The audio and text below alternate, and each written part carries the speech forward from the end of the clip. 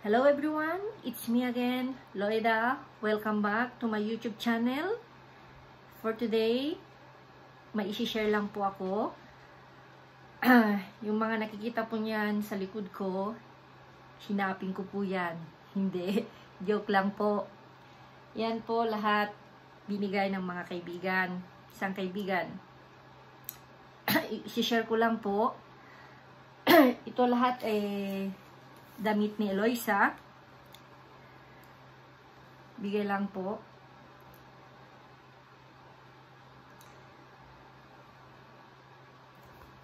Okay pa po siya. Di pa po ako maarte para sa anak ko. Kasi ang bata naman po, mabilis lumaki. Kaya okay lang. Kaya, kahit nung pinanganak ko siya, hindi ako masyadong bumili ng gamit niya kasi ang, ang bata mabilis talaga lumaki. Okay pa po siya.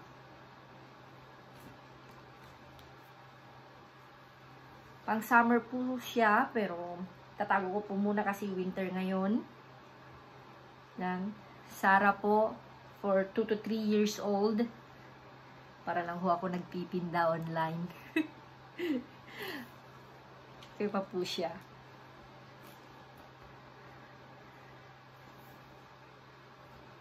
Sara. Tatago ko pa po. Kasi malamig pa po ngayon dito sa Madrid. Sara pa din. Tamang-tama sa summer. Okay naman. Hindi kasi masyadong malaki ang katawan ni Eloisa. So, okay lang. Basta ho hindi hindi ka marte dito sa abroad marami pong nagbibigay ng mga damit ng mga bata kahit ako ho yung mga amo ko nagbibigay. Basta pwede po pong isuot, kinukuha po ako. Kinukuha ko po. Ito, sapatos, sinot nga kanina ni Loisa. Ang tatak Pabloski. Parang online selling lang. Maganda po siya. So, komportable. Ito, mga hearsay na isus maisusuot pa niya ngayon. Disigual ang tatak. Disigual po eh, I think dito po ata sa Spain lang yan. Hindi ko, pero wala po kasi akong damit na disigual. Hearsay, disigual din. Ito po, polo. Puro may mga tatak. Maganda pa. Kaya, di po ako bumibili masyadong damit talaga ni Eloisa. Ito, bestida.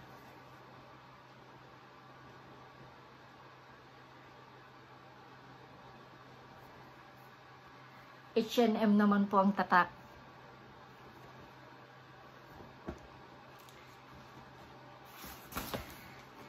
Ito rin po. Pero hindi po, ay, parang hindi po pwede ito sa pang winter. Masyadong manipis. Parang windbreaker siya eh. Windbreaker siya. So, sa otonyo pwede. Sara pa rin ang tatak. Maganda po siya. Pang girl talaga kasi bulaklakan. Yan. Tsaka po yung nakita nyo sa unang upload ko pong video na ginagamit ni ni Eloisa na ano mong tawag doon, patinete sa Espanyol. Nakalimutan ko na kung pa, anong tawag sa English. Kalimut, basta patinete. Pero ang tawag ni Eloisa is bike. Ito po. Ang ganda. Ma malaki pa po sa kanya. Itatago ko lang muna. Ini ano, agata ang tatak. Ito rin po, naisusuot na niya.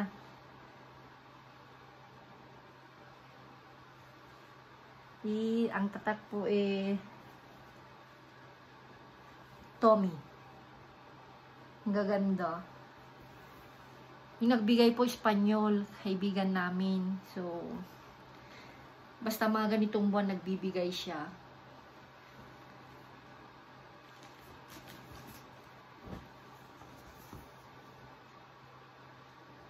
Ito pwede na suot na rin ni Eloisa. Medyo mahaba pero parang may garterize siya dito. Okay lang. Pwedeng pwede na po ba ako magtinda ng online? Yan. Ito, Hersey ulit, polo, pink. Susuot pa ni Loisa nito.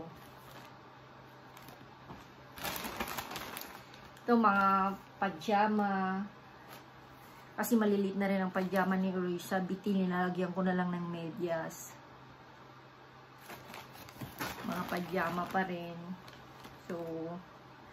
Okay lang. Medyo luma, pero okay pa naman isuot. Ito pang summer siguro na padya, na pang tulog. Partner niya din po niya ito.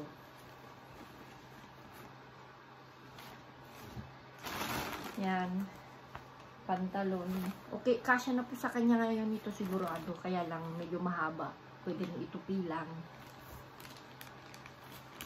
Yan. Denim. Mga jacket. Ganyan. Oh. Ay, parang, ano ba tawag dito? Parang hearsay. Pero hindi naman hearsay yung tela. Parang blouse. Medyo malaki pa siguro. Pero itatago ko na rin.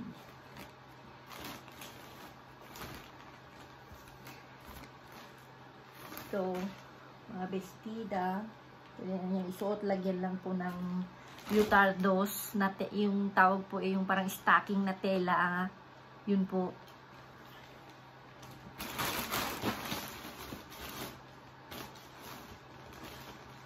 Ito mga sapato, ah, sapatos pang bahay, Peppa Pig. Hindi pa masyado sigurong na nagamit kasi medyo bago-bago talaga siya.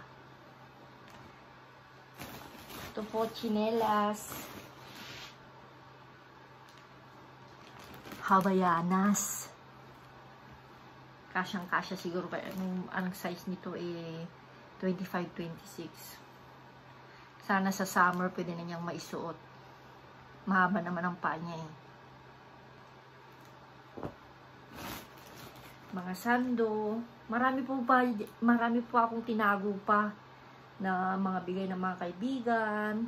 Nila Angel, si Jenny, yung Jenny yung kasama ko sa unang vlog ko rin na nag-breakfast. Si Jenny kasi may tatlong anak. So, binibigay niya sa akin. Paglalakihan ni Eloisa, binibigay ko ulit sa kanya. Para, yun nga, pag hindi ka talaga marte, tipid, lalo na ngayon, pandemic. So, tipid-tipid talaga tayo pag may time. Lalo na po talaga ako, tatlo yung anak ko. So, mahirap po ang buhay dito sa abroad. So, kailangan talaga po na magtipid. So, pag kailangan talaga, pag mga ganito, lalo-lalo sa mga, pag mga bata, hindi naman kailangan bilhan lang talaga lagi.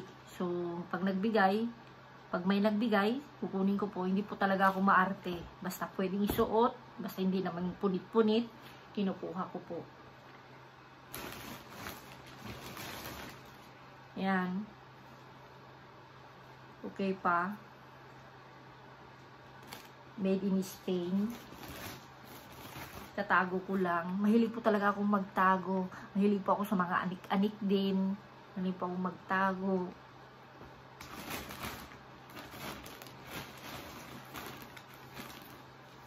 So, ito na po yung mga yotardos. Mga yotardos na po. Stacking ba yung tawag dito? Yan.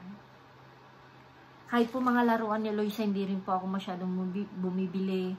Karamihan regalo, bigay, ganun lang po talaga. Talagang napakatipid ko po. Hindi naman po talaga kailangang bibili. Kasi ang bata, madaling magsawa Umo si Eloisa magaling na rin maglaro pero hindi ko talaga siya binibilhan na as in yung binibilhan talaga. Yun lang. Mga medyas. Okay pa naman. So, sana may natutunan kayo sa shinare ko ngayon. Alam ko, pasensya na kayo, first timer lang talaga kung sa sa bilang isang vlogger o YouTube. No, mga, basta baguhan po ako so basta, basta itong sinishare ko lang po sana makatulong. Para sa lalo-lalo po sa mga tulad kong ina na may maliit na anak. Kasi nga, yun nga sabi ko po ang bata mada, mabilis lumaki pati yung pangalawa ko si LM eh, yung mga pambahay niya, bigay din. Kasi madali siyang pag binibilhan ko, alimbawa po t-shirt, mga 2 or 3 pieces lang kasi after a month, ang bilis niya kasing lumaki. Ngayon nga 16 na siya hanggang sa ah, parang may sakili-kili na lang niya ako. So, yun lang guys. Maraming salamat. Kung bago ka po dito sa YouTube channel ko, please subscribe, like, and huwag niyo pong kalimutan na i-hit yung bell button para po pag may bago po akong upload, eh, mag, um, agad-agad na mapapanood nyo, magno-notification po sa inyo. Maraming maraming salamat. O, kung saan man kayo lupalop ng mundo, mag-ingat po tayo ngayon, lalo-lalo na sa pandemic. Maraming maraming salamat po. Mwah!